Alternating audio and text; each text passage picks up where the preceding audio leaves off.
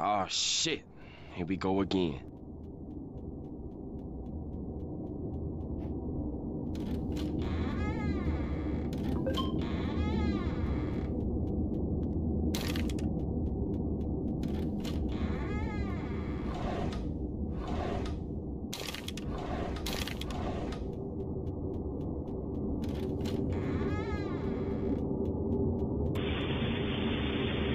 This is an official emergency broadcast.